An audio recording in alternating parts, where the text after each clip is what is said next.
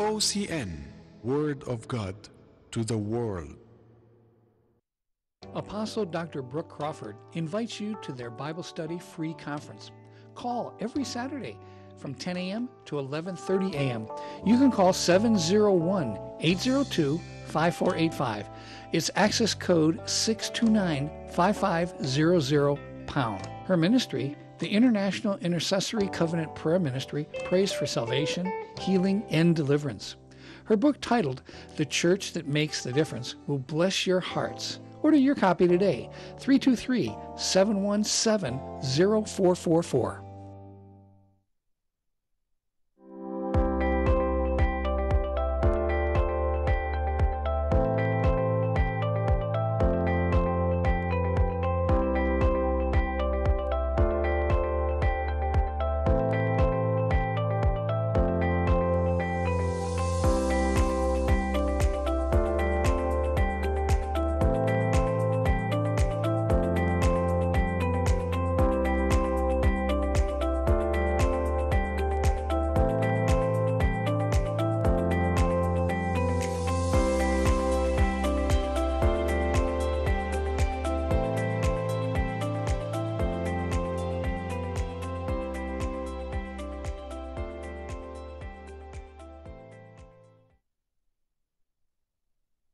Praise the Lord, praise the Lord. Our Father, he, he is faithful. Jesus is faithful. Hallelujah. Welcome to the Authentic Word God's program. Hallelujah. He is so good. He is so faithful. He's faithful in, in His Word. He's faithful in keeping us, protecting us, preserving us. He's faithful in providing for us. He's Jehovah Jireh. He's everything we need. He's so wonderful. And I just want to bless him on today. And I want you to bless him with me. Glory to God. Glory to God. And welcome, welcome to the authentic word. And we're going to get into the word. And he is the word. He is what we need. He is the bread of life. Hey, hallelujah. Praise you, Jesus. So awesome, so awesome. All right. Father God, in the name of Jesus, we just come before you ready to hear your word being expounded and being delivered to us and to uplift us, to encourage us, to cause us to want to walk with you, to be with you, to, to be faithful in our relationship with you, Lord. And I just thank you for this privilege and this opportunity to minister to people all around the world because we all need you. The whole world needs you now more than ever before. And you are coming back soon, Lord, and we want to be ready. And so I receive this word and we I ministered to people around this world, Lord God, and have your way, have your way, all you Hallelujah. And none of me. In Jesus' mighty name, I pray. Yeshua HaMashiach. Hallelujah. Glory to God. You know, I was saying how Jesus is the Word, Jesus is the bread of life. And so, without His Word, we need His Word every day. We need that Word of God operating in us, flowing through us and out of us, because through His Word is the love of Jesus flowing in and flowing out through His Word. is the, the instruction. It's our guidebook. It's our instruction book. It's our, our, our, our teaching tool that every Christian needs the Word of God, the authentic Word of God, which is the Holy Bible. The Holy Bible is the authentic Word. Praise you, Jesus. And I'm just excited for you, what God has for you today. glory, glory, glory, glory. Yeah, yeah, hallelujah. So now let's get into this word right now. And we're going to turn to John, the book of John, the Gospel of John. And John is the one, the apostle, who talks the most about the love of Jesus and what that does, the power of Jesus' love, the power of Jesus' teachings that he taught the disciples. And you, you born again, you are a disciple of Jesus. And so he wants to show you the way in which you should go. He has an amazing purpose and destiny for your life. Hey, yeah, hallelujah. Praise the Lord. So in John, the book of John, chapter 6, we're going to go to John chapter 6. John chapter 6 is a uh, loaded chapter. I mean, it is loaded. praise the Lord. Praise the Lord. So we're going to start in verse 9 of John chapter 6. And let's just look at that. Uh, well, well, let's see. No, it's not. Well, let's see. John, hold on here. okay, I'm sorry. We're going to start in verse verse 32 of John chapter 6. Verse 32 of John chapter 6. And it says, Then Jesus said unto them, Now, once again, here he is talking to his disciples. He says, This is important. Verily, verily, I say unto you, this is pay attention. Pay attention. That's what that means. And so he says, I say this unto you Moses gave you not that bread from heaven, but my Father give you the true bread from heaven. So now he's ministering to them. They're asking him questions about, you know, what is the kingdom of God? How do you get into the kingdom of God?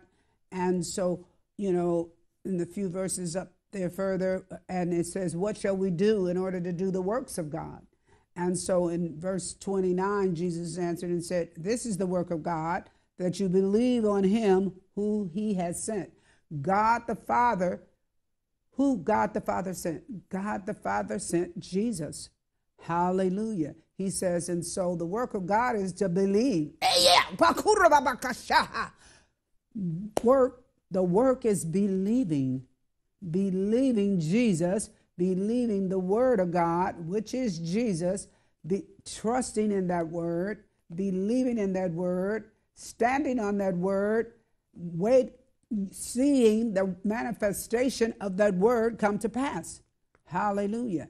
And so, and I'm going to skip down uh, the rest of what he said because we're going to go back to verse 32. And he says, Look, he said, So the bread that you received uh, through Moses when the Israelites were in the wilderness and God fed them that was millions of people. That was not a few hundred people. That was not, that was generations of these people that had been in slavery in Egypt for several centuries. And so they had been praying to God for them to be free. But the bread that they ate when they got in the wilderness, that God rained down from heaven, He fed them from heaven.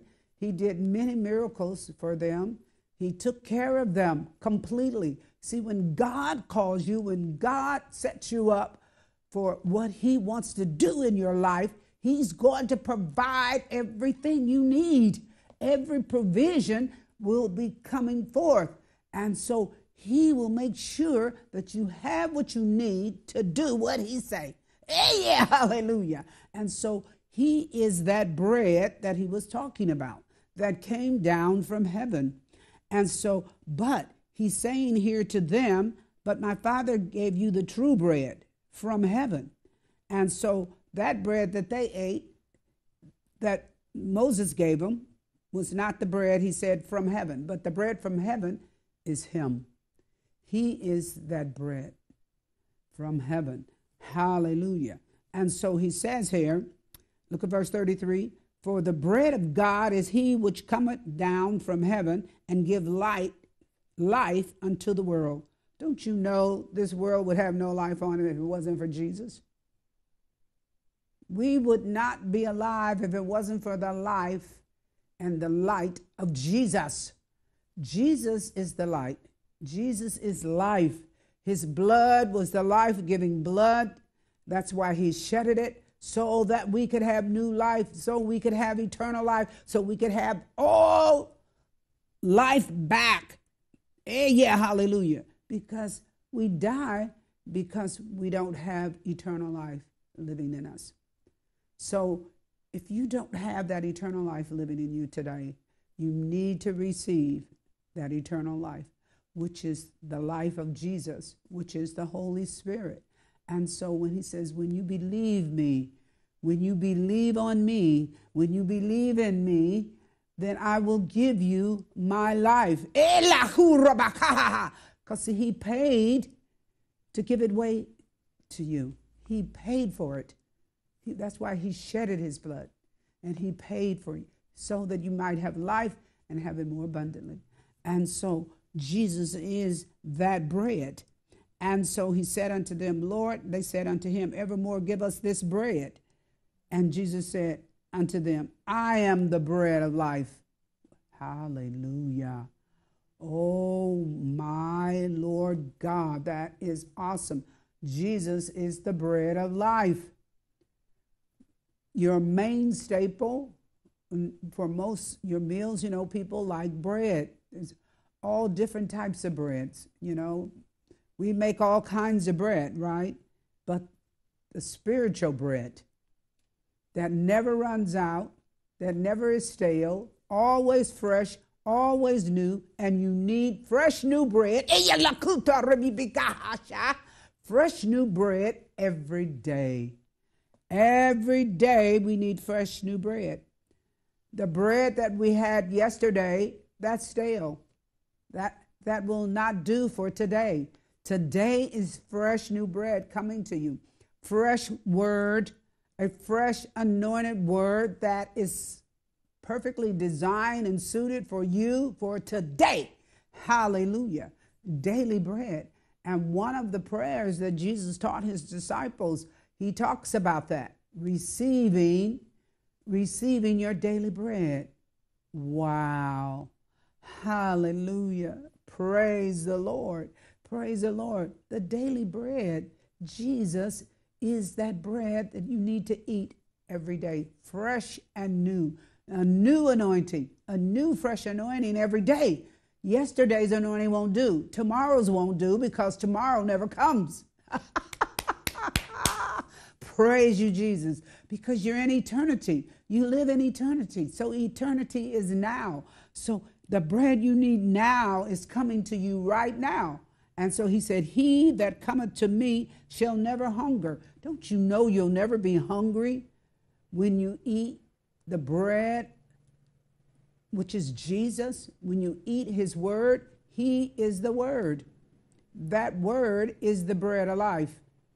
Hallelujah. This book, this word, what Jesus is teaching his disciples, it's life giving, it's encouraging, it's strength, it's peace, it's healing, it's deliverance, it's joy, it's his goodness, it's his mercy, it's his grace, it's his favor. Oh, hallelujah. He is that bread. He said, You'll never be hungry when you get into my word and eat that every day. Eat the bread every day. And he said, And he that believeth on me shall never thirst. You'll never be hungry. You'll never be thirsty. Don't you know that the only thing that can fill that void, that hole, no matter what you accomplish on this earth, there's only one thing that can fill it, and that's the Word of God. That is Jesus inside of you. Jesus living, the living Christ, the living, the anointed one. And so he says, You'll never be hungry, you'll never be thirsty, but I say unto you, and that you also have seen me and believe not. See, he's telling them he's right there with them and they still don't believe. So he said, Is he who believeth, who the Father has sent. That's the one that's really doing the work of God. Wow. Isn't that amazing? Isn't that interesting? You know, people and ministries and a whole lot of activities going on, you know, concerning um, meetings and goals and purposes and all of that. You know, all of that's good, and we have to have that. That's part of what the body of Christ does. But if you're not in that word, if you're not meditating on the word of God, if you're not feeding your spirit with that bread of life, with Jesus, you're still going to be empty. You're still going to be hungry. You're still going to be thirsty. Why? Because there's only one thing that can fill it, and that's a relationship with Him. Him and Him only. Because when you have a relationship with Jesus, you have one also with the Father in heaven, the one who sent Him here on the earth to be our example, for Him to pay the price so that we could get everything back because we are sons and daughters of God. Hey, yeah, hallelujah. Praise the Lord. So you get born again in order to receive this bread of life. Wow. Why do you need that? Because if you want to live for all eternity, that's the only way it can happen. You have to go through Jesus. You cannot get to the Father and you cannot have the Holy Spirit without Jesus. Because in Jesus, He is God. In Jesus is everything you need. Everything. The whole Bible is about Him. About the Word. Hallelujah. And so he says here, so you still don't believe, even though you see me. You're sitting right here and I'm talking to you right now. And he said, You're still not believing. I am your God. He said, I am your teacher. I am your help. I'm your healer. I'm your deliverer. I, I made the way for you to get that job. I provided that house. I provided that food. I provided you with health. When you called on my name, I helped you. Hey, yeah. And so God says, Look, He says, All that the Father have given me shall come to me, and him that come to me I will in no wise cast out. That's verse 37. He said, That's the Father that does that, that brings those to Jesus. And so, Father God, we ask you to bring many to Jesus right now. Hallelujah. Draw them to Jesus, cause them to come to him their Savior, their deliverer, their waymaker, the one who washes away all their sins, all our iniquities, the one who cleanses us and gives us a start to our new life. Thank you, Father, for those you're drawing right now to your first begotten Son of God. Hallelujah. Because now they are also your sons and daughters of God. Praise the Lord. Praise the Lord. And so God says here, For I came down from heaven not to do my own will, but to do the will of him that sent me. So this is what it's all about doing the will of God, the Father. The Father and the Word has purpose and has a will for us. And so the only way we need to find out what is that individual call, that individual will, that individual purpose for you being born into the earth is to do the will of the Father. Hallelujah. How do you do it? You do it through his son Jesus, the one who came, who paid the price for us, hey, and made it all happen. Eh,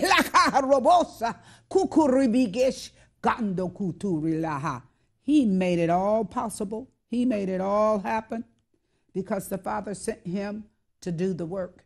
So our work is to believe, our work is to receive. And once we believing, we really, really have to believe it now. Now, don't just say you believe it, but you don't really deep in your heart. See, God is going to show you what's really in your heart. And so that's why we pray in His name. Why? because he paid the price. He made it possible so that you could be in the will of the Father, so that you could have a relationship with the Father also. So you get everything when you get Jesus. hallelujah, hallelujah. You got everything. You got everything when you got Jesus. When you have Jesus, living on the inside of you, the bread of life. He said, I am that bread of life. And this is the, the Father's will, which has sent me, that of all which you've given me, I should lose nothing. Don't you know Jesus is not going to cause you to lose nothing? And he's talking about you and I. He will never lose us. It's not about you and your material stuff or whatever you got. You won't lose that. That's not what he's talking about. He's talking about those that the Father sent to him, those that the Father gave him, they will never be lost. They will never stray away from him. They will remain with him. They will stay faithful to him. He said, I won't lose not a one, Father, that you've given me. Wow. Don't you know when you really surrender to Jesus and the Father's will that you will never be lost? He will always be with you. And but you should raise it up again at the last day. So he said all of those which he has given me i should not lose nothing. But he's going to raise us up at the last day. And so we're still here. So those of us who who are are are still walking with the lord because he's coming back and he's coming back soon i have to warn you jesus is returning back to this earth to come to get those that are his, those that the Father gave him. And some of our brothers and sisters have already gone to be with him. He came and got them early. That's why you always need to stay ready at all times. That's why you need to eat the bread every day so you will be in line with the destiny and the purpose and the will that the Father has for your life through Jesus. And the only way you can receive it, the only way you can walk in that is through Him. Hallelujah. Praise the Lord. And this is the will of Him that sent me. Look at verse 40. This is the will of Him that sent me, that everyone which sees the Son and believeth on Him, come on now, come on now, may have everlasting life. That's the only way. Through Jesus, you will have everlasting life. And I will raise him up at the last day. Wow. And see, the Jews, they started murmuring among themselves because they were saying that he said that he's, I am the bread which came down from heaven. So now they're getting all upset and all disgruntled and complaining about Jesus because Jesus was a revolutionary. Jesus spoke stuff that they didn't like. And it was not what was taught in the synagogue. Oh, that the Messiah is going to come. The Messiah, he's not the Messiah. He's blaspheming, saying that he's the bread that came down from heaven. Oh, my, my, my, my, my, my, my, my. So we're going to skip through all of that and so here again, he said, He that believeth on me have everlasting life, and I am that bread of life. Now that's verse 47 and verse 48. Verse 47 and verse 48. Jesus is that bread of life. Jesus is the bread that you need to eat every day. And so we're going to have a part two on that. So God bless you. And I know you received that word from the Holy Spirit upon today. And I am Apostle Dr. Brook Crawford. And God bless you. I'll see you again on the authentic word. Shalom, shalom.